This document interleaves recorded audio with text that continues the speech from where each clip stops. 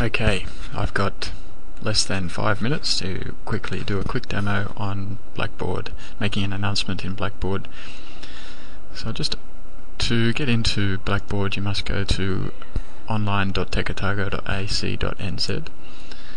At this website there are resources to help people orientate themselves around Blackboard and of course to log in. Click login, add your username and password that's me. That's me. And when you log in, it comes up with all of the courses that you're enrolled in, including the ones you facilitate. I happen to facilitate this one, Flexible Teaching and Learning Resources. It's still in development, and I'm just using this screen recording to make a demonstration of making an announcement. So here's all the past um, tests I've done with making an announcement. The most recent ones appear at the top. To make an announcement, click Control Panel, and in there is all of the features you can add to and, and um, adjust in your Blackboard course. And in Course Tools is Announcements.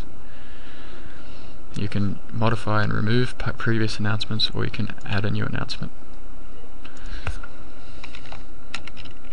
In the subject field, just put whatever your announcement is and then the message tool. This is Firefox, so it doesn't display all of the um, features of Blackboard's and a message window.